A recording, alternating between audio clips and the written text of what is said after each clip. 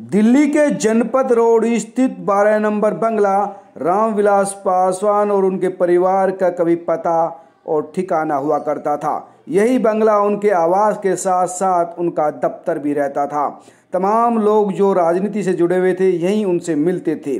लेकिन ये बंगला अब उनका नहीं रहा, परिवार इसको छोड़कर चला गया है। और जो ये स्टेचू आप देख रहे हैं, जिसको उखाड़ दिया गया है, ये स्टेचू कभी रामविलास पासवान का रहता था, जो बंगले को बीचों बीच लगा हुआ था। लेकिन उनके चले जाने के बाद, क्योंकि यहाँ पर रेल मंत्री अश्विनी वैष्णव को आना है, इसलिए इस स्टेचू को भी अब हटा दिया गया है। हालाँकि बंगले को छोड़ने का दुख उनके पुत्र चिराग पासवान को काफ़ी रहा। वो कोशिश करते रहे किसी भी तरह से ये बंगला उनके पास रहे, लेकिन सरकार नहीं मानी और उनको ये बंगला छोड़ना पड़ा।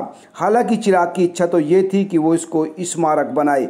अपने पिता रामविलास पासवान के नाम पर एक स्मारक यहाँ पर बने, लेकिन सरकार ने नियम बना रखा है कि समय रहते ही बंगला छोड़ना होता है। हालाँकि सरकार का कहना है कि कई बार समय बढ़ाया गया और उसके बाद फिर यह बंगला खाली कराया गया।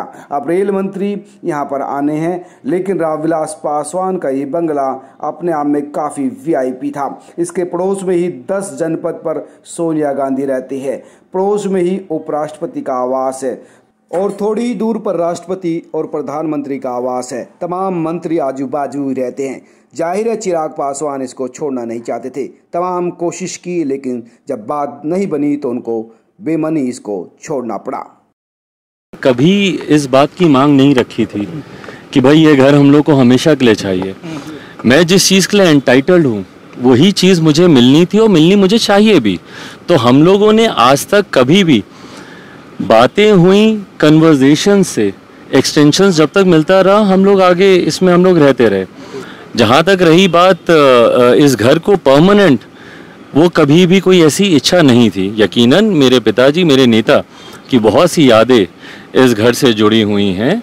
पर पर इस बात को भी मानना चाहिए कि कानूनी एक प्रक्रिया होती है, जिसका मैं, मेरा पूरा परिवार पूरी तरीके से सम्मान करता है। जिस चीज़ के लिए आप एंटाइटल्ड नहीं हैं, उस चीज़ को जबरन आप अपने पास रख भी नहीं सकते। हाँ तरीके से मैं ज़रूर थोड़ा सा निराश हूँ। उम्मीद बस इतनी थी कि मैं एक सेकेंड टाइम मेंबर पार्लियामेंट हूँ। मुझे एक ऑल्टरनेटिव एकोमोडेशन आज की तारीख में दिल्ली में मेरे पास मेरी नानी के घर के अलावा और कोई जगह नहीं है रहने के लिए वहीं मैं जा भी रहा हूँ। तो एक ऑल्टरनेटिव एकोमोडेशन अगर मुझे दिया जाता दुख मुझे इस बात की ज़रूर है कि भाई मेरे आ, मैं अकेला ही नहीं मेरे साथ कम से कम मेरे पिताजी के समय से काम करने वाले लगभग सौ के करीब उनके साथी उनके आ, मदद करने वाले उनके समर्थक जो इसी घर में ही रहते हैं। तो ये यकायक ऐसा फैसला करने से ज़रूर उन सब के भी आ, जीवन में कठिनाइयाँ बहुत ज़्यादा बढ़ गई हैं।